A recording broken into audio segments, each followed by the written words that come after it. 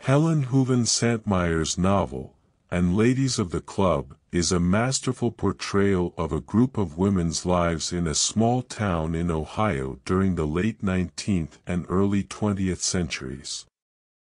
The novel, spanning over six decades, follows the lives of the members of a women's club called the Waynesboro Women's Club. Through their lives, the novel explores themes of women's education, the changing roles of women in society, marriage, friendship, and aging. One of the most striking aspects of the novel is its attention to detail. Santmyer paints a vivid picture of the town of Waynesboro and the lives of its inhabitants, describing everything from the town's architecture to the characters' daily routines. This level of detail gives the novel a sense of authenticity, making the reader feel as though they are truly witnessing the lives of these women unfold. Throughout the novel, Santmyer explores the theme of women's education.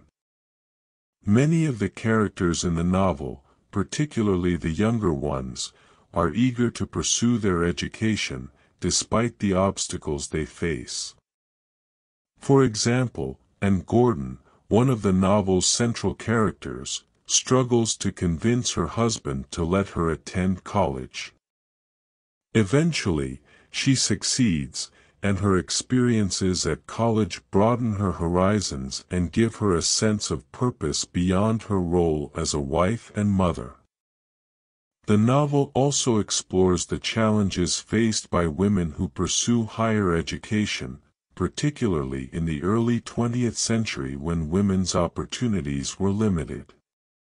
Another theme that runs throughout the novel is the changing roles of women in society.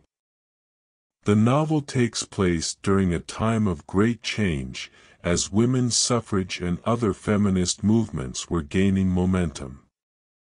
The women in the novel are keenly aware of these changes and work to challenge the gender roles and societal expectations that restrict their lives. For example, Adelaide Larkin, another central character, defies expectations by refusing to marry and instead pursuing a career in nursing. The novel also explores the challenges faced by women who do choose to marry and have children, particularly the limited options available to them if their marriages fail. Friendship is another important theme in the novel. The women in the Waynesboro Women's Club form strong bonds with one another, supporting each other through good times and bad. The novel portrays the friendships between women as essential to their well-being and happiness.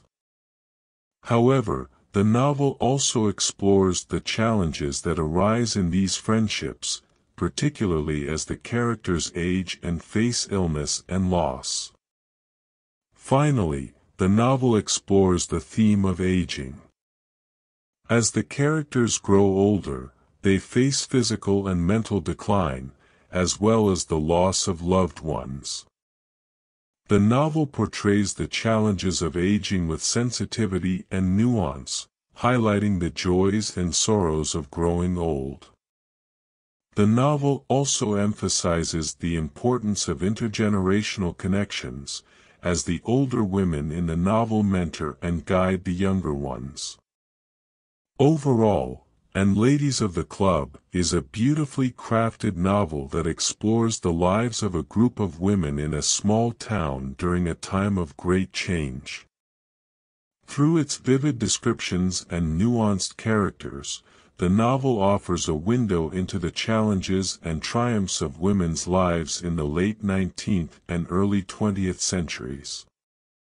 The themes of women's education, changing gender roles, friendship, and aging continue to resonate today, making this novel a timeless and valuable contribution to the literary canon.